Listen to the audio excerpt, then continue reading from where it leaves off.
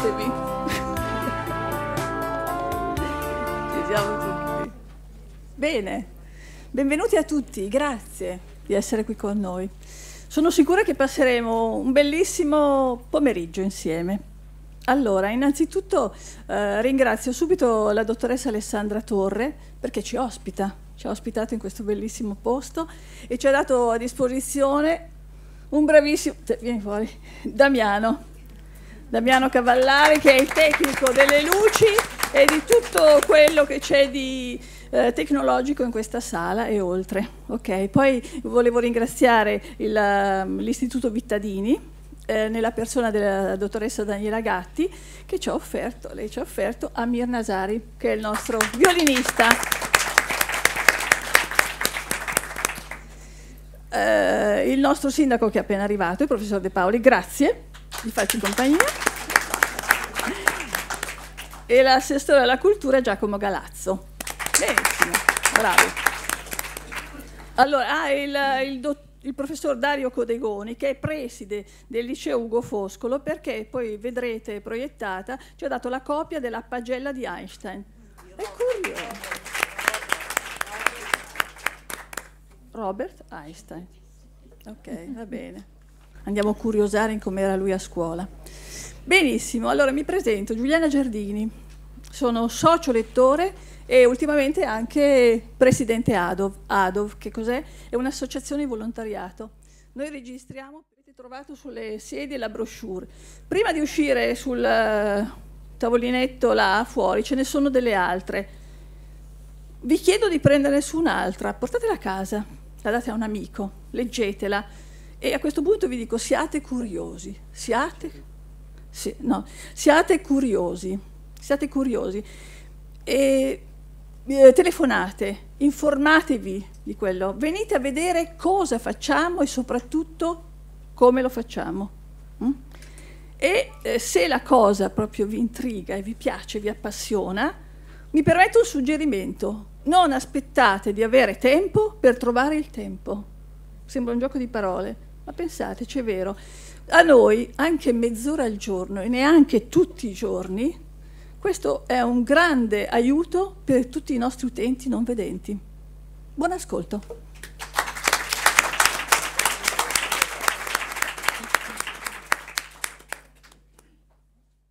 Il personaggio di Lorenza Mazzetti meriti una presentazione perché è un personaggio poliedrico, molto complesso ma affascinante. Bene.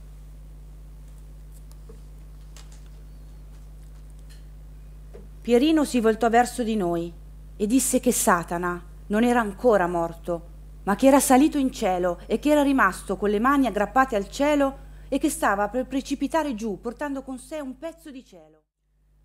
Ho scelto queste poche righe tratte da uno degli ultimi capitoli del Cielo cade perché ci riportano al titolo suggestivo del libro e alla particolare tonalità della narrazione di Lorenzo Mazzetti Penny nel racconto e alla sua capacità di sdoppiarsi, riuscendo a cancellare l'io adulto e facendo emergere solo l'io bambino. E Pierino, Zeffirino, Pasquetta, Penny, Baby, ma nella realtà tutto è diverso.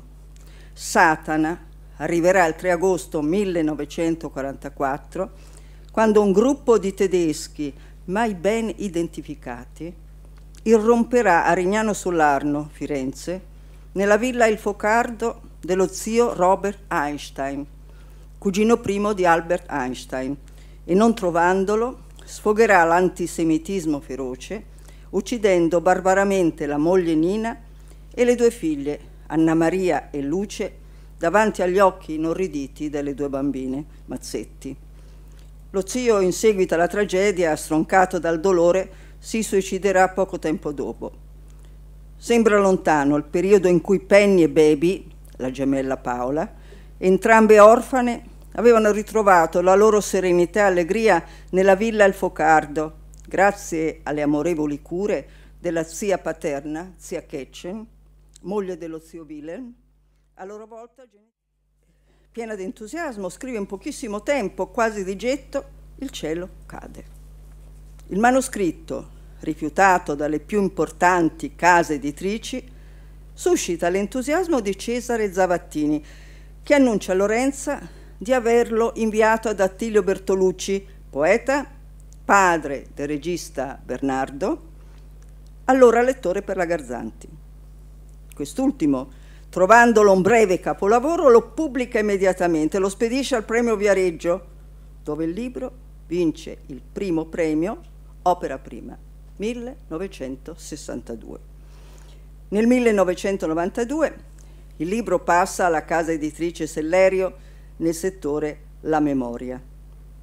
Elvira Sellerio, alla quale Lorenza aveva confidato che Il cielo cade era veramente autobiografico, nonostante i nomi fittizi dei personaggi, prega la scrittrice di inserire una dedica a tutti i componenti della famiglia Einstein coinvolti nella strage. Il libro, a tutt'oggi, 99, i registi Antonio e Andrea Frazzi, ispirandosi al libro, girano un film dal titolo omonimo. Sceneggiato da Suso Cecchi D'Amico, protagonista Isabella Rossellini, vince nel 2000 il premio Giffoni Festival. Concludendo, noi come Adov Pavese desideriamo sottolineare che la presenza a Pavia di Robert Einstein con la sua famiglia tra gli anni 1894-1896 è confermata naturalmente anche da Lorenza Mazzetti in una dilascalia a un suo dipinto, ma soprattutto con le nostre letture, dedicando la giornata della memoria a queste quattro vittime innocenti della persecuzione nazista, vogliamo risvegliarne il ricordo e mantenerlo vivo, con la speranza anche che gli studi degli storici continuino e servano a fare piena luce su questo truce fatto di sangue non ancora chiarito del tutto. Grazie.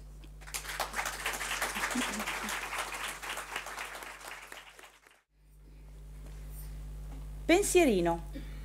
Raccontate che cosa avete fatto oggi. Svolgimento. Oggi a scuola il duce ha parlato e ci ha detto di fare la ginnastica per diventare forti, educati e pronti ad una sua chiamata, per difendere la nostra grande Italia, perché c'è la guerra. Io mi domando se posso amare mia sorella Baby più del duce. Ma io però amo Baby come Gesù, proprio come Gesù, e amo Gesù un po' più di Dio, e Dio come Mussolini, e l'Italia e la patria meno di Dio, ma più del mio orso giallo.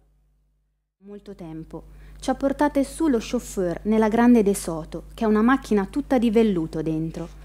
Lo chauffeur dello zio Wilhelm ha i bottoni d'oro e il cappello e le basette e si chiama Cosimo e fa anche il cameriere alla villa. A me e Baby Cosimo mette soggezione, quasi quanto lo zio. Io e Baby non avevamo mai visto lo zio, ce ne parlava papà, ma ora papà non c'è più, la mamma neppure. Sono in cielo, di lassù guardano giù per vedere se io e Baby siamo buone, ubbidienti e rispettose, come loro vogliono. Certo, da quando mammina e papà sono andati su nel cielo, nessuno ci abbraccia più la sera prima di andare a dormire e la mattina quando ci svegliamo. Questo fino a che loro non tornano giù dal cielo. Non so bene quando però. Io e Baby, quando siamo arrivate per la prima volta quassù, abbiamo fatto l'inchino alla zia Ketchen la sorella di papà, che ci ha abbracciate e anche Marie. Annie invece è gelosa del nostro arrivo. Dopo un camion arrivò, da cui scesero una ventina di soldati.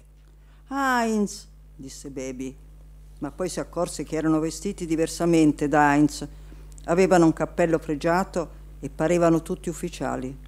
Hauk, Hauk, Hauk, Hauk, Hauk, dissero due soldati, sollevandoci di peso. Lasciami, disse Baby divincolandosi. Hauk, Hauk, Hauk, Hauk, disse il soldato, stringendola forte mentre cercava di sgusciargli dalle mani. Ai, mi fai male, dissi a quello che mi riacchiappò per il vestito, strappandolo. Hauk, Hauk, Hauk, strillò. Guarda cosa mi hai fatto, dissi io mostrandogli il vestito strappato.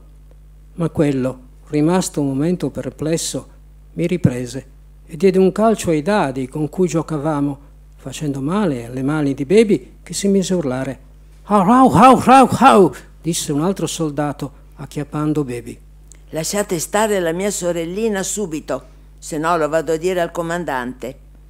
Vidi venire Marie, Annie e Ketchen spinte su per lo scalone dai soldati che tenevano il mitra puntato.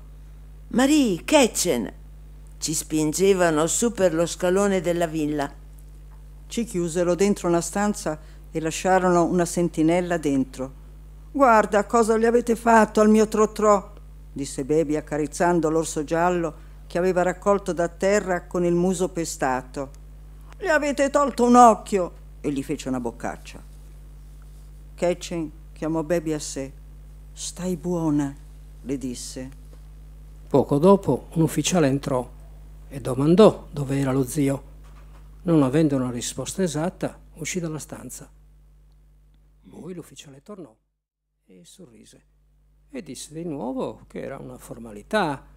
Poi mandò chiamare prima Ketchen, poi un soldato entrò e chiamò Marie.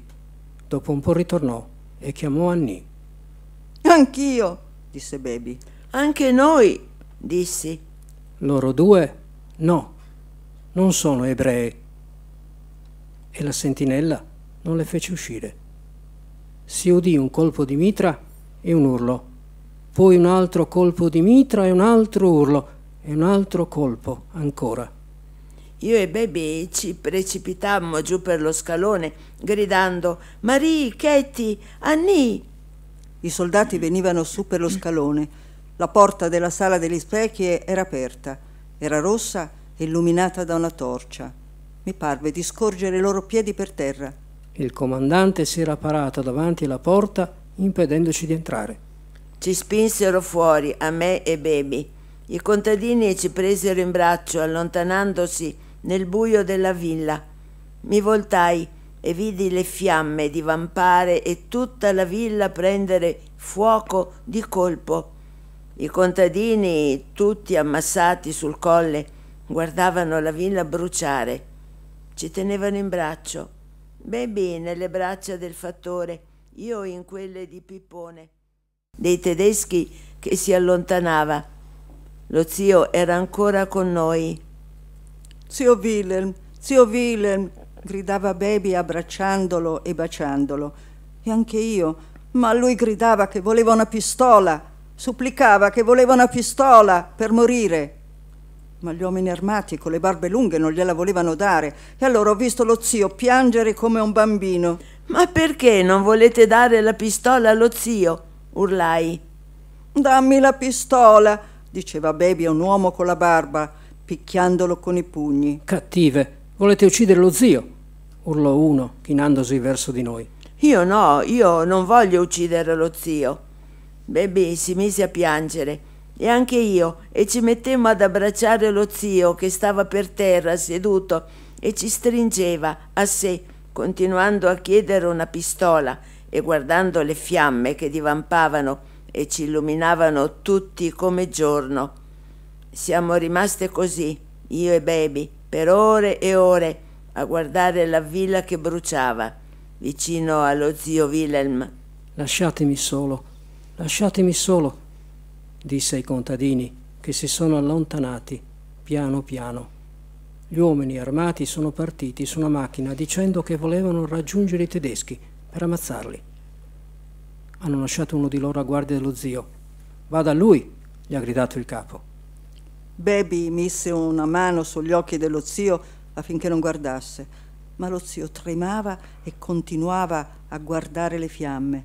Non piangere, diceva Baby e lo abbracciava. No, diceva lo zio, vedi, non piango più. Baby si addormentò con la testa sulle ginocchia dello zio e anche io con la testa appoggiata a lui che guardava la villa che...